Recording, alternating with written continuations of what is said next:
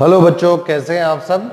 आज हम सीखेंगे अल्फ़ा डीके यानी अल्फ़ा डिसइंटीग्रेशन।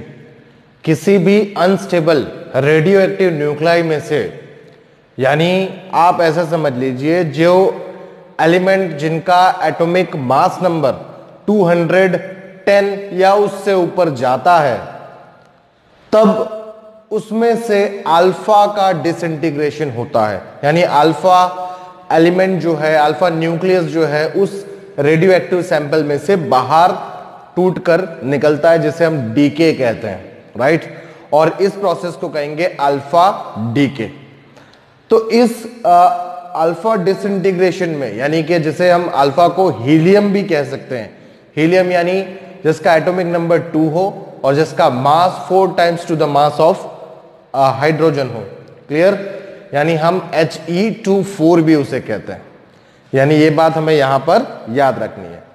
जब भी किसी रेडियो एक्टिव सैंपल में से अल्फ़ा का डीके होता है तो वो रेडियो एक्टिव सैंपल जो है, जिसे हम पेरेंट्स न्यूक्लियस भी कहेंगे, याद रखिए क्या कहेंगे? पेरेंट न्यूक्लियस भी कहेंगे।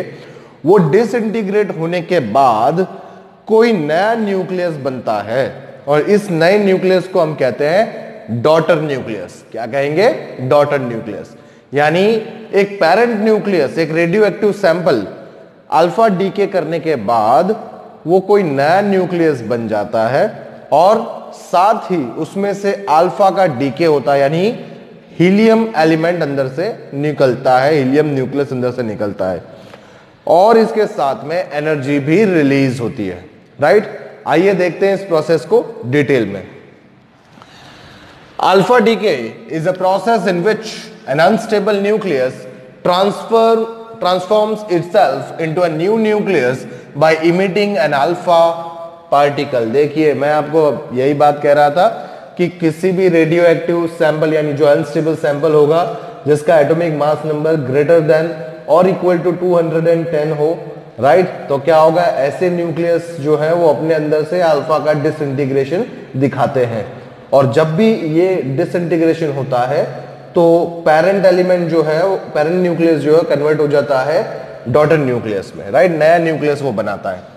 Since an alpha particle has two protons and two neutrons so after alpha decay the parent nucleus is transformed into a daughter nucleus with a mass number smaller by 4 and atomic number smaller by 2 देखिए इसका मतलब क्या है? हम जो alpha particle कह रहे हैं, वो हीलियम है। हीलियम है इसका मतलब उसके अंदर दो प्रोटॉन और दो न्यूट्रॉन होते हैं।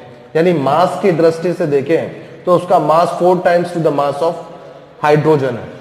और चार्ज के हिसाब से देखें तो उसका चार्ज होगा टू यानी टू टाइम्स ऑफ़ हाइड्रोजन है। क्लियर या एटॉमिक नंबर के हिसाब से देखें तो एटॉमिक नंबर टू है उसका। क्लियर चलिए, देखिए एक्सप्रेशन कैसे लिखेंगे। मान लीजिए यहाँ पर हमारे पास लेट एक एलिमेंट है हमारे पास एक्स क्लियर और ये रहा इसका एटॉमिक नंबर Z, और ये रहा इसका एटॉमिक मास नंबर ए तो यहाँ पर एटॉमिक नंबर और एटॉमिक मास नंबर दोनों है हमारे पास। अब रेडियो एक्टिव डिसइंटीग्रेशन हुआ यहाँ पर, और उसमें से अल्फ़ा डीके होगा। तो अल्फ़ा डीके होने पर क्या हुआ? यहाँ पर देखिए अल्फ़ा डीके होने पर हीलियम बाहर निकला मतलब इसे ही हम अल्फ़ा कह रहे हैं। देखिए कंफ्यूज मत होइए, इसे ही हम अल्फ़ा कहते हैं two four H E two four right और साथ में क्या निकलता है? तो एनर्जी निकलती है, यानी Q right where Q is what this is energy right this energy releases in this process where the alpha is decaying from this parent nucleus right और इसे हम क्या कहेंगे? इसे पेरेंट न्यूक्लियस कह सकते हैं आप। राइट? ये पेरेंट न्यूक्लियस होगा और यहाँ पर जो नया न्यूक्लियस बनेगा, देखिए नया न्यूक्लियस में क्या होगा?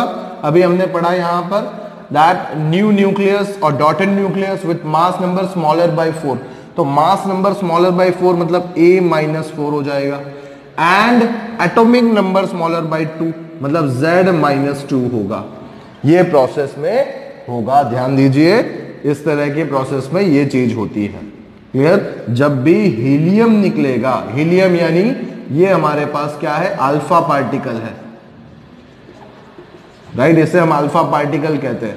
तो ये जब भी हीलियम निकलेगा तो आप देख सकते हैं, इसका एटॉमिक मास नंबर कितना है? फोर एटॉमिक नंबर कितना है? टू राइट तो मास नंबर फोर है और एटॉमिक नंबर टू है। इस वजह से क्या होगा? आप देख सकते हैं जो पैरेंट न्यूक्लियस है, उससे जो नया न्यूक्लियस बना है, उस न्यूक्लियस के अंदर मास नंबर में डिक्रीज बाय फोर हो रहा है और एटॉमिक नंबर में डिक्रीज बाय टू हो रहा है। तो ये हमें यहाँ पर याद रखना है। ठीक है? चलिए इस, इसे हम कहेंगे डॉटर न्यूक्लियस। देखिए। राइट? चलिए, इसके एग्ज़ाम्पल हम समझ लेते हैं। यहाँ पर एक एग्ज़ाम्पल हम ले लेते हैं, देखिए, यहाँ पर। सपोज़ हम लेते हैं यूरेनियम यूरेनियम 92 238 क्लियर अब इस यूरेनियम का डिसइंटीग्रेशन अल्फ़ा डी के हमें देखना है यहाँ पर। तो क्या होगा इस यूरेनियम में? यूरेनियम जो है, नया एलिमेंट जो बनाएगा, वो होगा थोरियम क्या होगा? थोरियम और वहाँ पर क्या होगा? देखिए, यहाँ पर according to this standard equation हम यहाँ पर क्या करेंगे? Z माइनस टू है, यानी 92 टू माइनस टू यानी 90 क्लियर मास नंबर में डिक्रीज बाय फोर है मतलब 234 हो जाएगा। थोरियम मिलेगा प्लस क्या होगा? यस अल्फ़ा पार्टिकल डीके हुआ। क्लियर प्लस एनर्जी रिलीज़ हुई। क्लियर तो इस तरह से हम ये एक फॉर्मूला यहाँ पर रिएक्शन यहाँ पर देख सकते हैं। क्लियर डिसइंटीग्रेशन यहाँ पर देख सकते हैं। देखिए, दूसरी डिसइंटीग्रेशन अगर हमें देखना हो यहाँ पर तो देखिए, इसे हम पोलोनियम ले रहे हैं। जैसे पोलोनियम ले रहे हैं। तो पोलोनियम में इट इज़ 84208 राइट 208 84 इसका मास नंबर है और 208 इसका sorry mass number 208 mass number है 84 इसका एटॉमिक नंबर है। राइट अब देखिए, ये क्या होगा? ये बनेगा लीड देखिए, क्या बनेगा? लीड बनेगा. यहाँ पर डिक्रीज बाय टू यानी 82 हो जाएगा एंड डिक्रीज बाय फोर तो 204 हो जाएगा. इस प्रोसेस के अंदर भी क्या हुआ? अल्फ़ा का डीके हुआ है. देख सकते हैं आप यहाँ पे. क्लियर तो ये हुए सिंबल सा अल्फ़ा डीके क्लियर आप देख सकते हैं, ये बात हमें यहाँ पे याद रखनी है that daughter nucleus with mass number smaller by four and atomic number smaller by two बराबर? इसमें कंफ्यूज नहीं होना है। क्लियर चलिए, ये एक बात हो गई। अब अगर हम बात करें speed of this alpha particle right तो क्या होगा? चलिए, जगह बना लेते हैं उसके लिए। स्पीड ऑफ़ अल्फ़ा पार्टिकल हम यहाँ पर देखते हैं।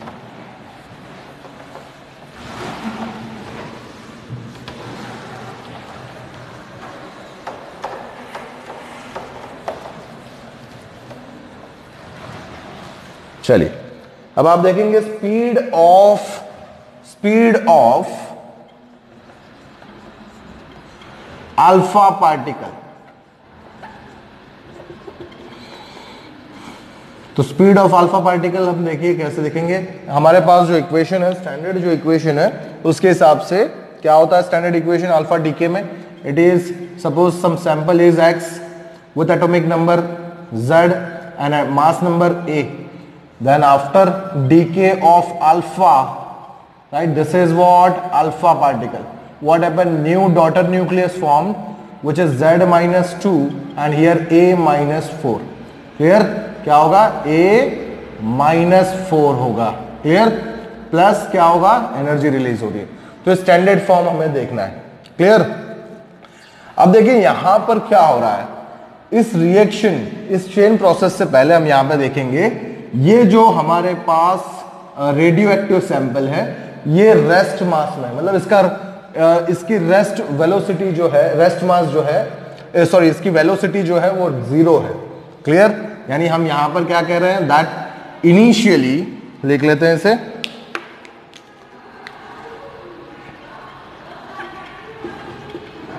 Initially radioactive sample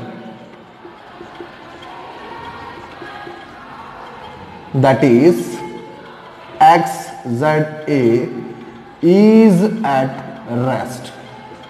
Right? So, its velocity is zero. Right? तो इसकी वेलोसिटी हम क्या ले रहे हैं? ज़ीरो ले रहे हैं. यानी वी एक्स जो है, वो हमारे पास कितना है? ज़ीरो है. ठीक है? चलिए, ये हमें पता चल गया. क्लियर एंड हम दूसरी लाइटिंग कर रहे हैं देखिए यहाँ पर। आ, इस टर्म को हम लेंगे आ, ये जो डॉटर एलिमेंट है उसकी वेलोसिटी हम लेंगे। तो V and V Y and V alpha alpha are the velocities of daughter nucleus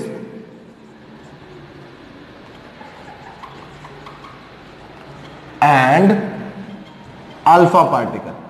And alpha particle. Clear okay तो यहाँ पर ये बात हमें यहाँ पर पता चल रही है।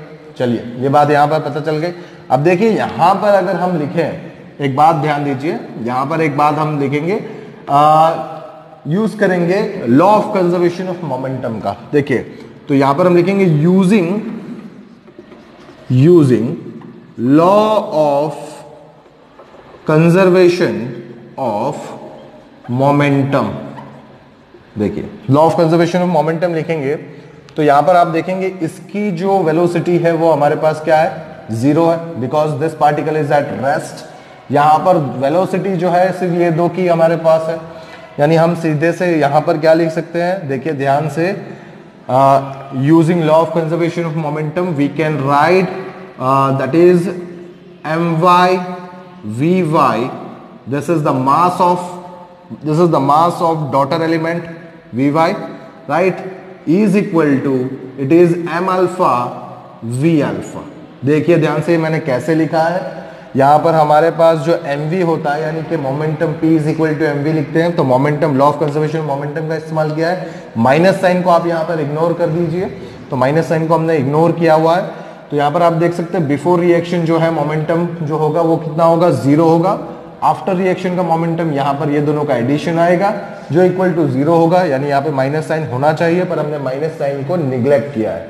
तब हम यहाँ पे क्या लिख सकते हैं? M Y V Y is equal to M alpha V alpha लिख सकते हैं। Clear so let it be और या फिर हम यहाँ पर सब्जेक्ट बना लेते हैं। हमें फाइन करना है वेलोसिटी ऑफ़ अल्फ़ा पार्टिकल ना? तो पहले हम वी वाई की यहाँ पे सब्जेक्ट बना लेते हैं तो it is M alpha V alpha by M Y right let it be equation one ये इक्वेशन वन हो गया हमारे लिए। ठीक है? चलिए। अब यहाँ पर देखिए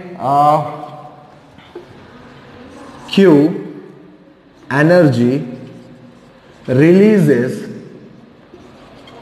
releases from the parent nucleus parent nucleus right which is which is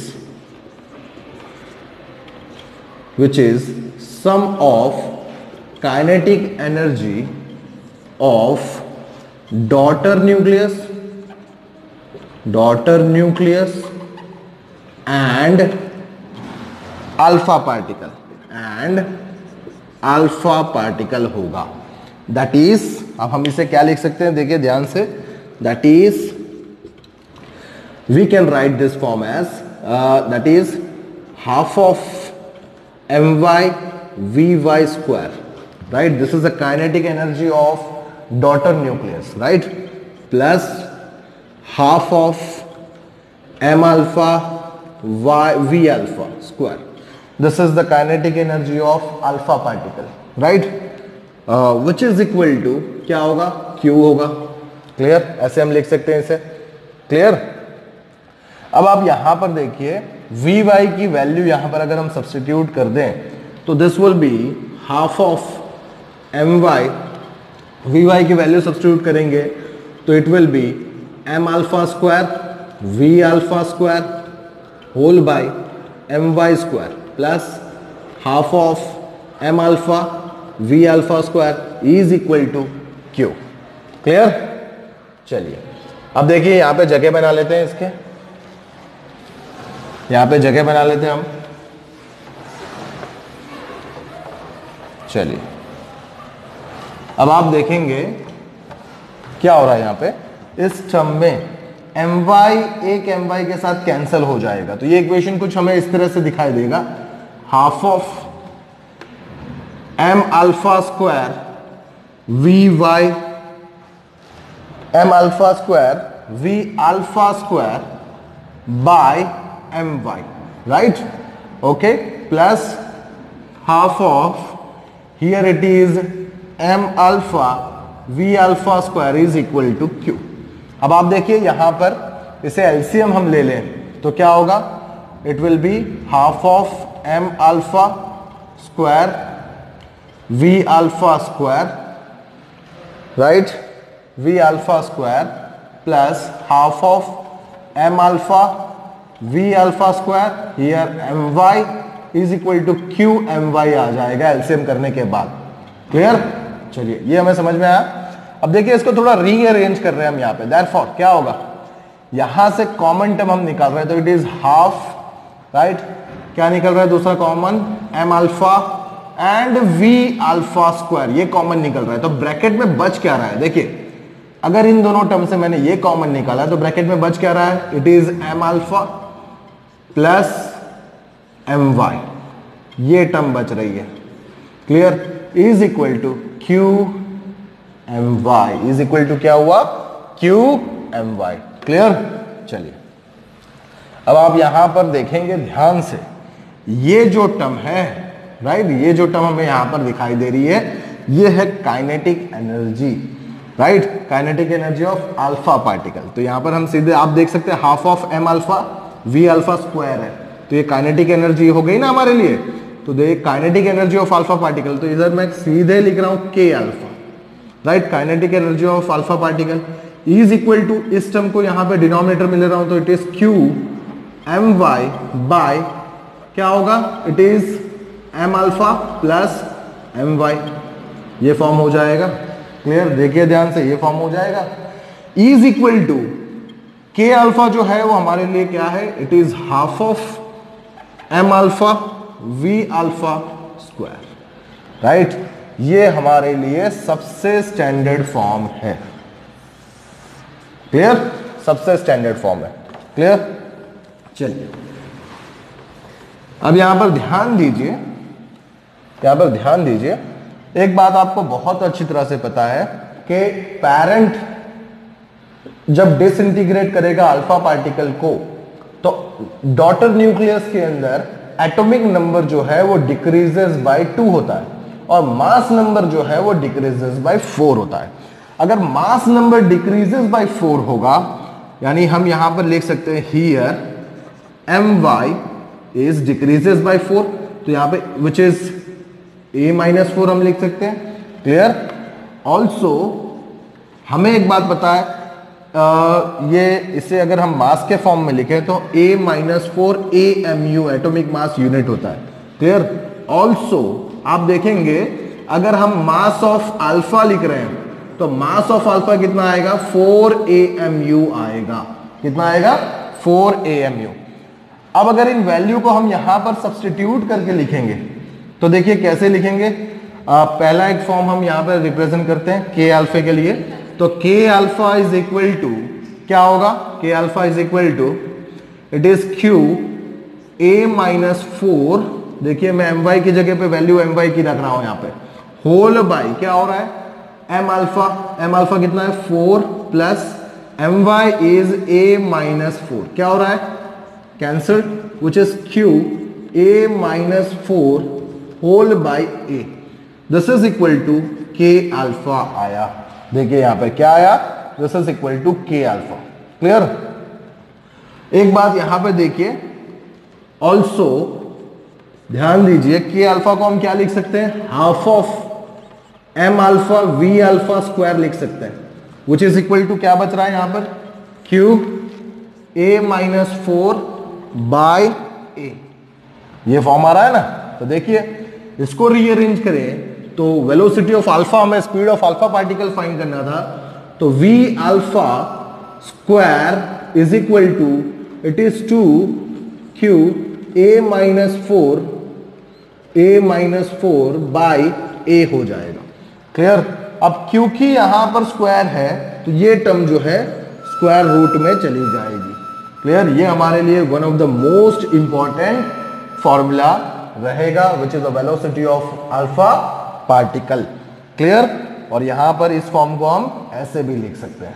clear दूसरा फॉर्म जो आप लिख सकते हैं, वो सीधे कंपैरिजन में आप ऐसे लिख सकते हैं। देखिए, ध्यान दीजिए K alpha is equal to half of M alpha V alpha square तो यहाँ पे आप इसे वी अल्फ़ा स्क्वायर को सब्जेक्ट बना लीजिए।